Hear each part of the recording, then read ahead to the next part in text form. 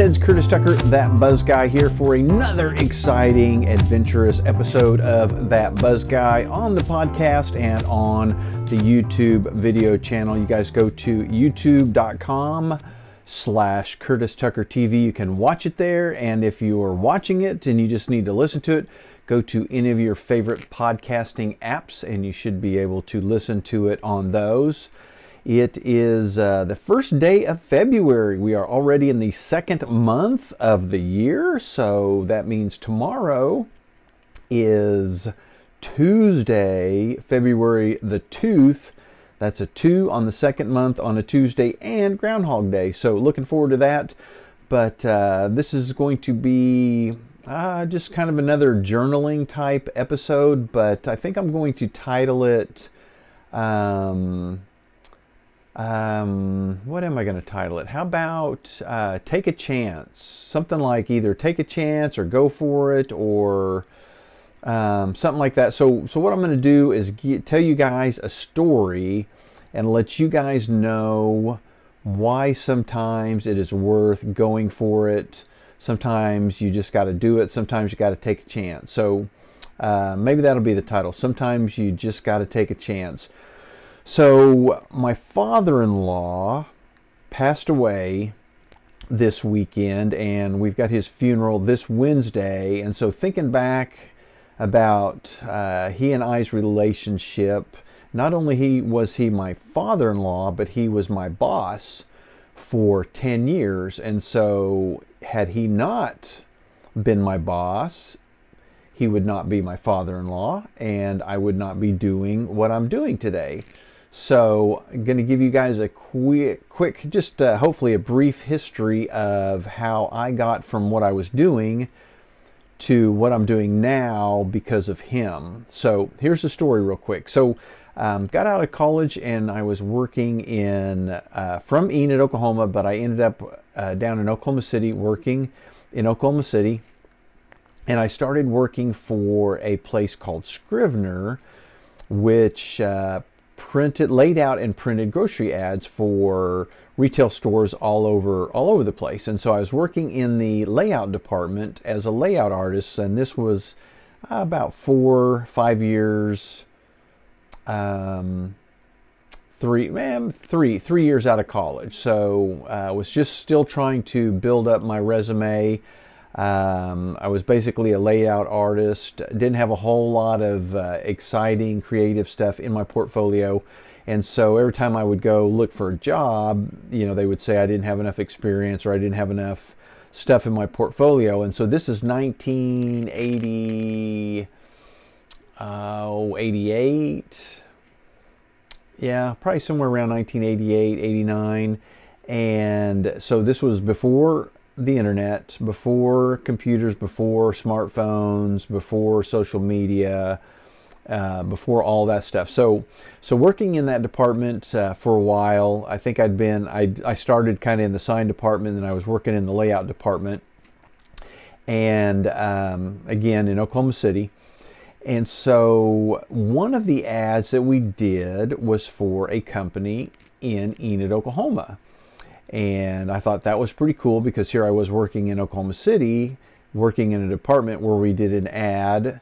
Basically, we laid out, well, we didn't even lay it out. They, they were laying it out and they would bring the layout down to us and then our department would typeset this ad and then we would shoot the um, film for it and then do the actual printing and then ship it back up to Enid. And so the company was called Evans Drug. And so uh, it was owned by Jim Evans, and Jim Evans' wife, Betty Evans, would drive down to Oklahoma City, bring us the layout. They had a they had an advertising guy up here in Enid that would lay out the ad. Betty would bring it down, get it typeset, and uh, then we would print it and get it back up here.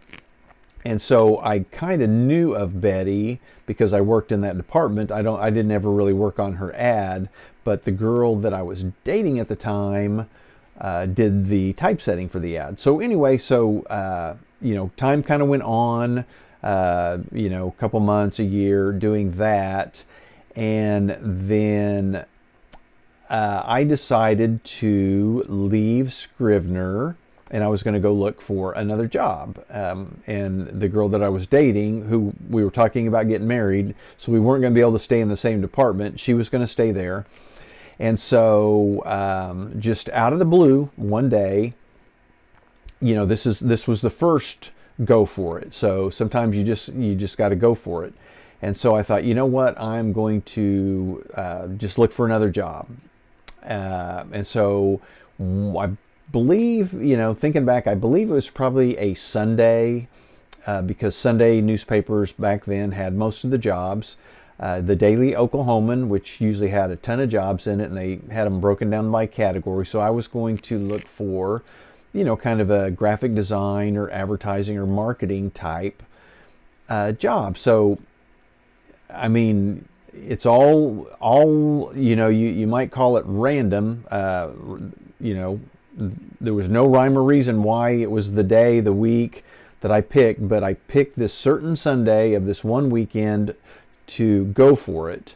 And I looked in the paper, and there was an ad for an advertising director for a company in Enid, Oklahoma. And at the time I didn't know it, but it was what we call a blind ad. And so it said that the company was J.S. Gregory, which being from Enid, I had never heard of. So I didn't know, it didn't have an address. It just had, well, it did have, it had a P.O. box to send a resume to. And so, and they were in it, I don't, I'm not sure how much description it had in the ad for the advertising director, but for me, you know, that was a titled position. That was director of advertising, and here I was, you know, layout artist. And so, you know, on a normal day, if I wasn't really wanting to find a job, I probably would have thought I didn't have enough experience and I was way underqualified for the job. But I decided, especially since it was in Enid, I thought, well, that would be kind of cool to be able to move back to Enid and live in Enid. And so um, I went for it. It was kind of one of those deals, fake it until you make it. Uh, you know, I, I knew enough about advertising and, and graphic design and what I was doing that I thought I could probably, you know, make it through, you know, the job. Whatever they threw at me, I'm pretty. I was pretty sure I'd be able to, um, you know, handle it. So I, I think uh, I don't even think I had a resume at that time. So I got a resume ready and I sent it off to Enid, Oklahoma, and I did not apply for any other jobs. And I don't even know that there were any other jobs in Oklahoma City in that field at the time. So uh, a little while later, I got a phone call from somebody, and it was a lady, and she said, Curtis, this is Betty Evans in Enid, Oklahoma. And I said, you know, hello. And she said, Did you know that we were the ones that were running the ad for advertising director? And I said, no. And it was Evans Drug that was the one running the ad. And she said, Jim would like you to come up to Enid and interview for the job. And I said, Great, I will be there. So we set up an interview for, you know, probably the next week. And so, um, you know, basically I just took uh, all the knowledge that I had and went up and met with Jim and Betty and applied for the job, did the interview and they you know asked me all the questions that they asked me and I did my best. And, and they knew that I knew how to lay out the ads. And so that was the majority the major part of the job at that point was laying out the weekly I believe we were doing weekly pony tabs that were like uh, I think they were eight pages uh, with lots of items. And in the items you know there needed to be photographs of every item. It needed to be laid out and all that to get ready to go down to the print shop. And so, uh, anyway, applied for the job, did the interview, and uh, I, you know, however long later, I got the phone call that said I had gotten the job. So, wow. So, we packed up, and um, I did end up getting married at the time. So, got married, moved to Enid, and started the new job all in the same month, 1989. And so, so Jim Evans, who later became my father-in-law, but at that time was my boss, was the reason I moved back to Enid, Oklahoma. Had I not looked in the paper that Sunday and applied for that job, I'd probably still be uh, in Oklahoma City with a completely different life. And so, um, I hope that microphone doesn't make a noise there. But um, so anyway, so ended up back in Enid and uh, did my first ad, laid it out, and they came to me and they said, "Hey, Curtis, you need to enter." You know, the ad was full of all these items that were on sale, and they said you need to enter those items, uh, the UPC codes for those items, into a sales batch. And I said, okay, what's a sales batch? And, you know, they explained to me that all the items, you know, you put them in by UPC code and then you put the re- retail price and then the sales price. And that way, when they ring them up at the register, uh, they ring up at the sales price. And they said, you know, here's an IBM XT, you enter them there. And I said, okay, how do I turn it on? So at this point, I had never turned on a computer in my life. I didn't really even understand. I didn't know that there was little desktop computers at this time. Um, had gotten all the way through college and uh, never used a computer in college, even though I had a graphic advertising design degree in 1986. Uh, had never used a computer. So here it was, 1989. I was turning on uh, computer for the first time. So anyway, it was an IBM XT running on DOS and it just had this sales batch program in there. But I quickly became fascinated by this computer, even though the only thing in there to do was DOS. And I, I kind of learned that if you typed in different words, things happen like format and save and rename. And, and I just, I just thought it was so cool that, that you could make these things happen. And so, so that was the beginning of my love of computers.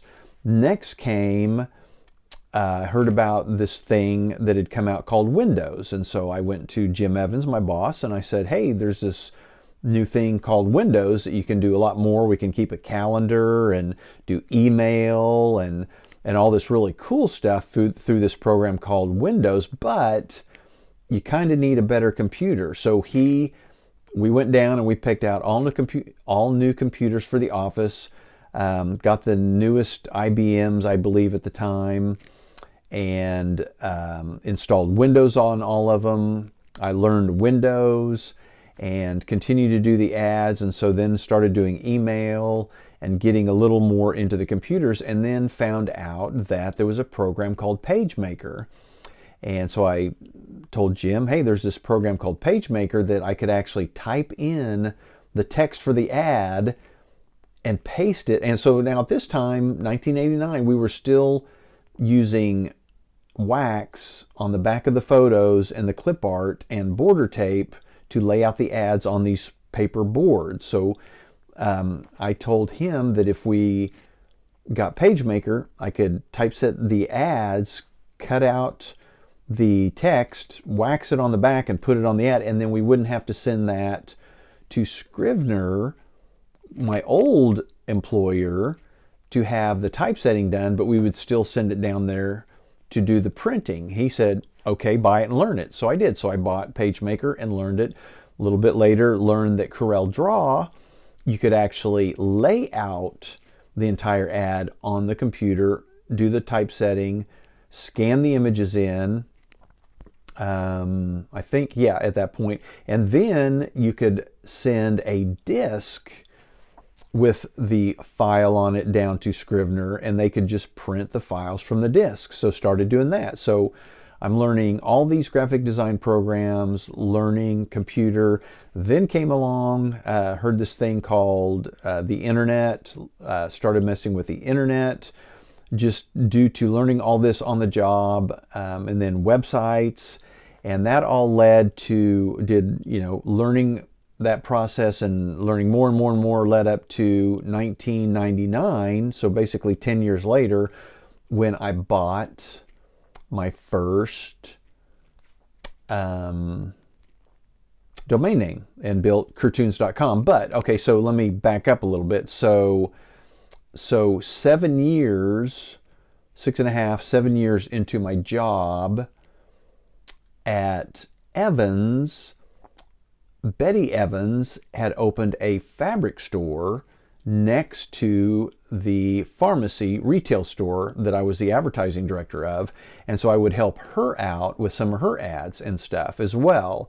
And so my office was basically in the back in between both stores. So you could get to my office going through the back of both stores. And so somewhere along the line, okay, so then uh, about six years six and a half, seven years into that job, I ended up getting divorced from my wife at that time. And so then I was single and working at Evans. And then Betty Evans' daughter moved back to Enid and she started helping her mom run the fabric store, but then also was helping her dad and was manager of the retail store.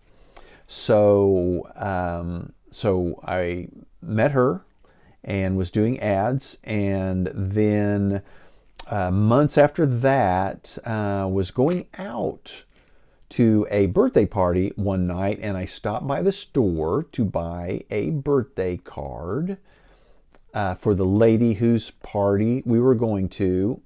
Denise happened to be working that night and checked me out. And after I bought the card, I said, Hey, we're going to go to this birthday party. If you would like to come out and have a drink, meet us at this place. And um, if you don't have anything to do, well, she she you know normally wouldn't do that. She liked to be a homebody at that time but for some reason she decided to come out.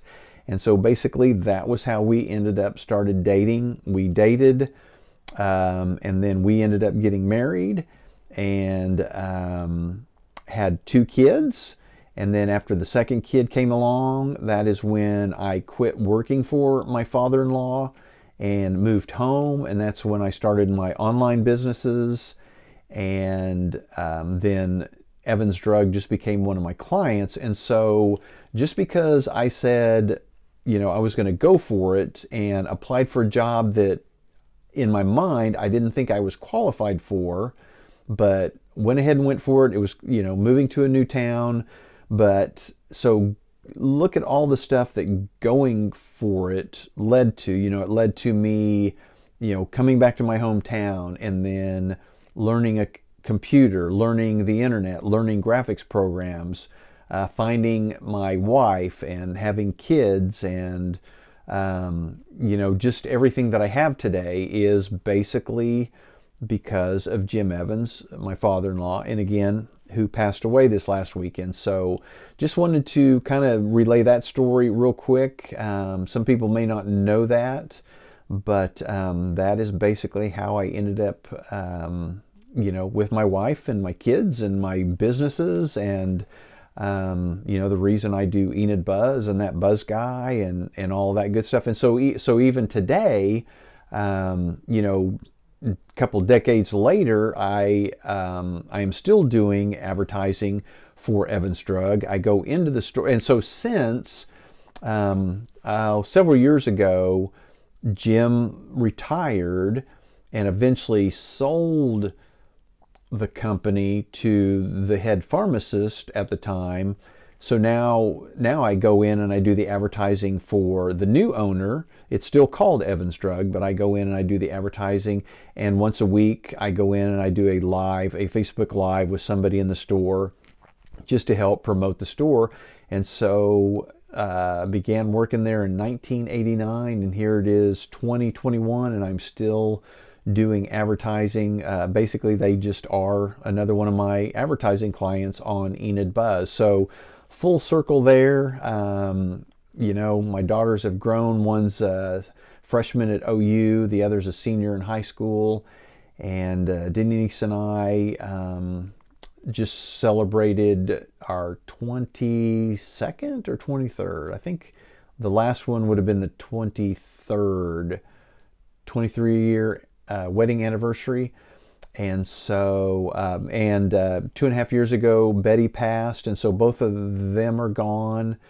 Um, but anyway, so that is my story. And so I want to encourage you guys out there if you're thinking about jumping out and doing something, but you're afraid to do it, if you don't know, you know, you're thinking, I don't know what the consequences could be. Um, I want to tell you to go for it. You know, you, you just got to do it. If you're wanting to start a blog, if you're wanting to start a podcast, if you're wanting to start a video channel, if you're wanting to write a book, if you're wanting to create a product, if you're wanting to switch jobs, um, you got to do it. Just do it. Uh, don't you know don't jump out there with without having some knowledge you know i don't want you to you know if you're in the if you're a roofer i don't want you to quit roofing and go try to be a dentist. You know you you, you got to have kind of a plan. You've got to be kind of ready not not 100% ready but um, you know enough that you can fake it until you make it. And i don't highly suggest you totally fake it until you can make it. I don't like i say don't don't go applying for a job or jumping into a a job or a something that you don't know anything about. Um, but like starting a podcast, you're not going to be able to start a podcast on, let's say, race cars if you don't know anything about race cars. But if you know a lot about race cars, but you've never been a podcaster, you can do it. So start that podcast, start talking about race cars. The podcasting will come along. You'll get better at talking, you'll get better at um, your sound quality. You'll get better at you know writing titles and, and description and uploading them and, and the length and doing interviews and all that comes with you know just uh, experience. But you got to have that initial knowledge, which would be your knowledge of race cars.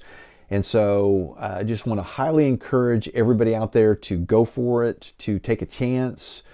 Uh, you, you know, uh, with me, took a chance and it turned out super duper great. So um, you never and and you don't want to get you know five years, 10, 10 years down the road and wonder you know where would I be, what would have happened if I hadn't taken that next step. So so basically, what you're wanting to do is take a step to improve yourself. You know, a better job, a better opportunity. You know, and even sometimes there are some opportunities where maybe you take a step backwards knowing that that backward step is going to lead to a leap forward once you get you know the experience or you know pay your dues in whatever you're doing. So don't be afraid to go for it. Don't be afraid to try. Always be looking for the next opportunity. Um, you know every time i got a job out of college i was always looking for the next job because i knew that that job that i was in was not I was not going to settle for that. It was just a, I needed a job to pay the bills. So always have a job to pay the bills. Don't start a side gig or a, you know, one of those deals without having full-time work. You got to have income coming in. But while you're working that full-time job, knowing in the back of your mind that it is a temporary job to get you to the next level, if, if you really hate it, you can make it through, you know, tell yourself, hey, I can do this job for a year while I prepare myself for the next level, while you're getting the experience, while you're building the portfolio, while you're um, learning the knowledge, while you're, uh, you know, honing the product that you're going to sell. Um, so anyway, always make sure that you're working. Always make sure that you've got full-time job as a backup plan, but always be striving for that next level, that next opportunity, and if it presents itself like it did for me, again, I applied for a blind ad back in my hometown, not knowing who it was, not knowing if I was 100% qualified for the job. But I thought, you know what? I'm going to go for it. I'm going to see what happens. Uh, the worst that could happen was I didn't get the job and I stayed where I was, or I applied for a different job in Oklahoma City. So, um, you guys go for it. I hope everybody is having a great 2021. I uh, hope January went well for you guys. Let's all create something really great here in 2021. February is a great month to get something going.